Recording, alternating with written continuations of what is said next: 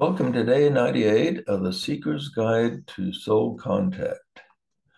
The course consists of 365 lessons to bring you closer to spirit and soul.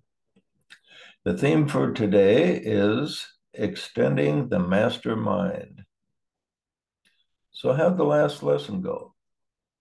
Did you visualize your friends and your mastermind group? Were you, you able to see any of them in the flesh?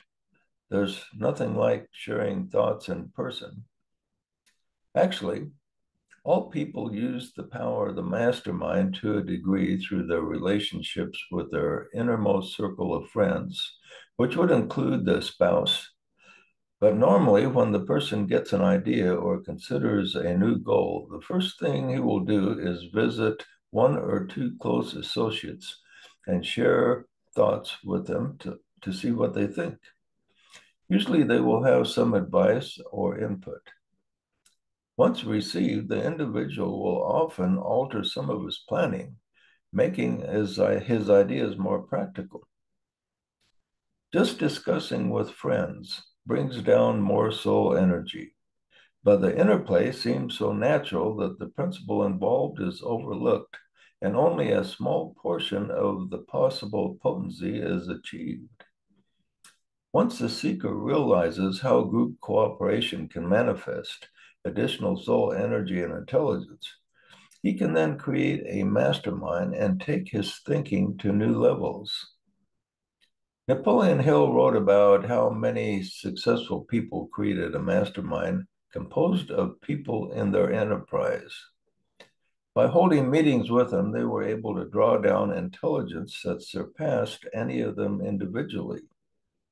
Then he tells an interesting story of how he took this to a higher level in his own life. He decided to create a mastermind group of famous people, even some who have, were uh, dead. And he did this by using his own imagination. There were nine people in his group, which included Emerson, Paine, Edison, Darwin, Lincoln, Burbank, Napoleon, Ford, and Carnegie. He imagined their presence as a council and used them for advice, as well as incorporating their positive qualities into his life. As time passed, they became so real that he became concerned and decided to discontinue the idea. Then something quite unusual happened. He was awakened in the middle of the night by none other than a visage of Abraham Lincoln standing beside his bed. He heard him say these words. He said, The world will soon need your services. It is about to undergo a period of chaos which will cause men and women to lose faith and become panic stricken. Go ahead with your work and complete your philosophy.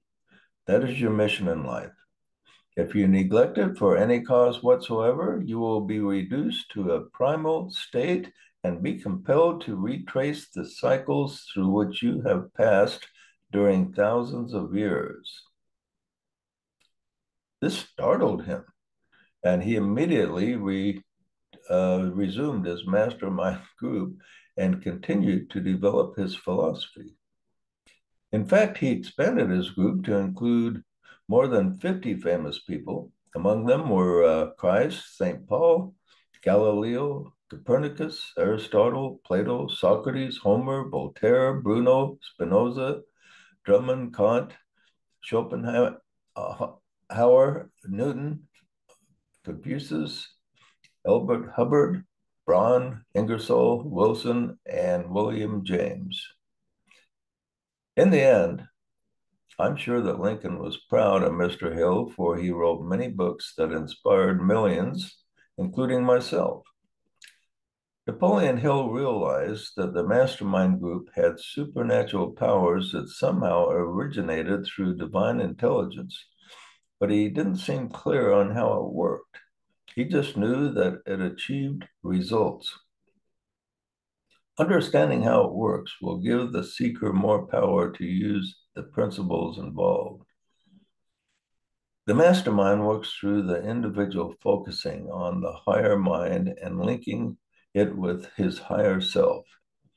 The higher self then has power to send a fragment of consciousness into any thought forms you create. What is interesting is that your soul can access the consciousness of any other soul, living or dead. This is why Hill's Lincoln was so powerful and real. His higher self accessed the consciousness of the real Lincoln, which allowed him to interplay with an image that manifested the personality and intelligence of Lincoln as he existed in the 1860s. Today's assignment is optional.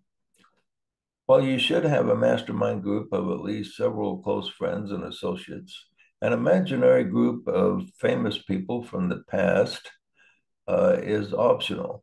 If you do decide to create such a group, it will require considerable effort and time, but the benefits can be quite amazing. Whether you make the effort or not, at least think of three famous people that you admire. Bring one or more of these into your consciousness now and then and consider what advice they would have for you or what they would do in your situation. Continue with your mastermind of living associates, both in person when possible and by using your imagination.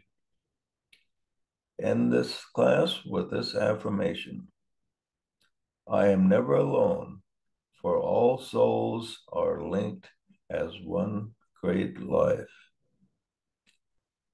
thought to think about, and we will see you tomorrow.